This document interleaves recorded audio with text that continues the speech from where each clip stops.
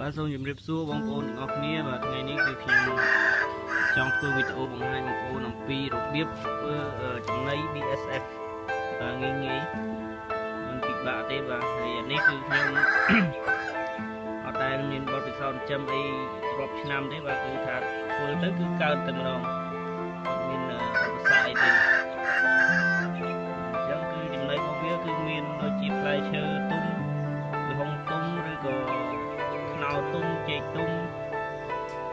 សិនជាបន្លែក៏វាអាចស៊ីបានដែរដូចជា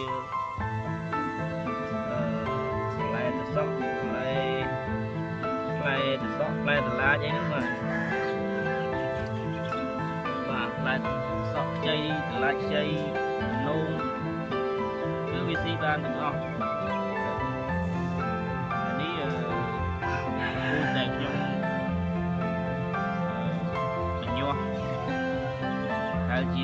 4 5សំបុកកាលពីវគ្គមុនដែលខ្ញុំបានធ្វើគឺវាប៉ុណ្ណឹងអស់ហើយបាទ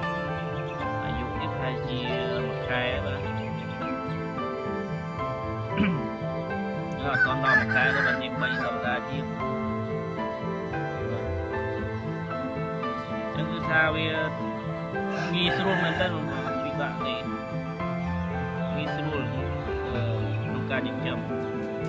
ហើយនេះបើ សិនជាមន់បានស៊ីគឺថា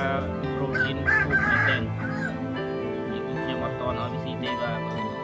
ទៅអស់ហើយមានន័យធ្វើគុំទេចឹងអានេះខ្ញុំទុកវាធ្វើធ្វើតនេះហើយនិយាយថាបើសិនពូយើងប្រប៉ុណ្ណេះ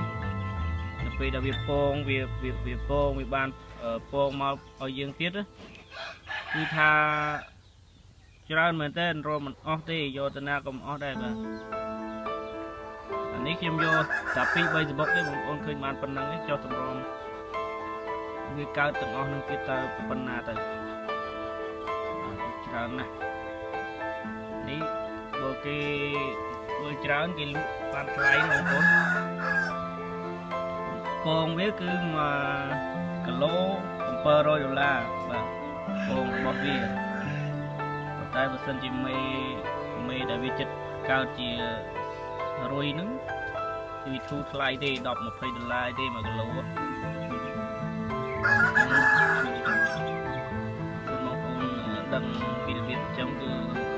អាចរកប្រាក់ចំណូលបានតាមរយៈការចិញ្ចឹមទៅពីមុនខ្ញុំចេះឆ្ងល់ថាមានគេចិញ្ចឹមរុយចិញ្ចឹមតកើខ្ញុំអត់ដឹងថាអីតែឥឡូវបានឃើញបានសាក់ ប្រយោជន៍ច្រើនមក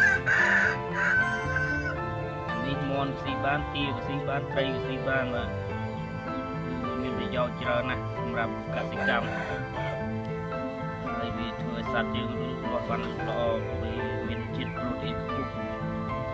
បាទទៅទៀតខ្ញុំនឹងដាក់ចំណីវាហើយបងប្អូនឥឡូវយើងដាក់ផ្លែខ្នុរវាញ៉ាំហ៎បាទ អេយើងដាក់ផ្លែខ្នុរវាញ៉ាំទៅតាមពិតទៅយើងមិនបាច់ចាំបកអញ្ចឹងទេយើងដាក់ទូសបកទៅអីទេបើនេះយើងបកក៏បកទៅវាអត់អីទេវាវាញ៉ាំទាំងអស់ដាក់ដាក់មកវាញ៉ាំទាំងសបកញ៉ាំទាំងអីនោះវាញ៉ាំទាំងអស់តែគ្រាប់វាអត់ញ៉ាំទេនេះយើងដាក់ម្ដងខ្លាយជា3 4ថ្ងៃទៀតដល់យើងដាក់ទៀតទៅវាញ៉ាំអត់ទាន់អស់ហ្នឹងហើយ អាហ្នឹងតែប៉ុណ្្នឹងឯងមានអីពិបាកទេងាយងាយដាក់ប៉ុណ្្នឹងហើយមានតែប្រើឆ្នាំដាក់អីណាញ៉ៃញ៉ៃច្រើនទេបាទប៉ុណ្្នឹងឯងគឺចប់សេចក្តីបាទហើយដល់ពេលពី3ថ្ងៃក្រោយវាវាស៊ីអស់អាហ្នឹងទៅយើង